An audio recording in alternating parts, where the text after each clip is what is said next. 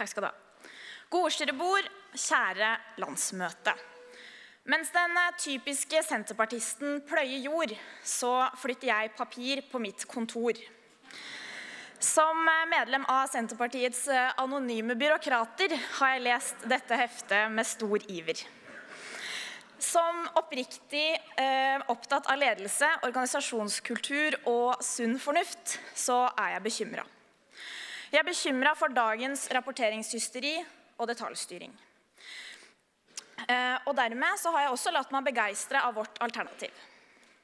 Som en av de sjeleløse statsbyråkratene ser jeg hver eneste dag eksempler på krav om detaljert rapportering, der vi stikker fingeren i været og nærmest må over i skjønnlitteraturens verden for å få eh, fylt ut skjemaene. Systemene blir større, og byråkratiet vokser. Høyre vedtok på sitt landsmøte forrige helg at de ville redusere antall direktorater. Det hadde jo vært fint om de hadde bestemt seg for det litt tidligere, siden de bare noen dager i forveien oppretta et nytt digitaliseringsdirektorat. Kjære landsmøte. Akkurat nå har jeg boka til Robert Mood på nattbordet. Eh, og han skriver, det han skriver om oppdragsbasert ledelse, det inspirerer og viser oss et alternativ.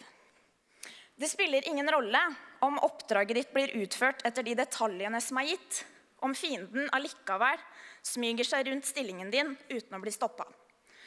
Vi må fokusere på hva målet er, ikke på detaljene i hvordan oppdraget skal utføres. Som politikere så må vi se helheten, være tydelige på de overordna politiske måla om at folk skal ha gode tjenester lokalt og, føle, og gjøre, føle seg godt ivaretatt. Så må de ansatte få muligheten og ressurser til å gjøre sin arbeidshverdag bedre hele tida ta små skritt på veien mot mer fornøyde brukere og medarbeidere. For det handler om en kulturendring. En endring der politikerne er i førersetet og tilrettelegger, med god dialog og medvirkning fra administrasjon og medarbeiderne i førstelinja. Med et språk og en måte å snakke på som alle forstår. I et samfunn der folk opplever at det blir lengre vei til noen å snakke med, har vi mye å forbedre. Jeg liker at dette også handler om digitalisering. Det høres kanskje bare ut som en moderne måte å la innbyggerne ta seg av jobben sjøl, men det er store muligheter her. Ved å la innbyggerne som har de enkleste sakene, kunne gjøre ting sjøl, har vi mer tid og ressurser til de som eh, ikke har saker som eh, passer inn i et skjema på internett. Vi kan gi dem de, eh, den hjelpa de trenger.